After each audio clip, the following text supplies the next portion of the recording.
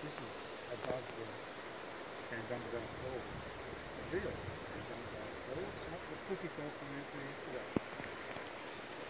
The, the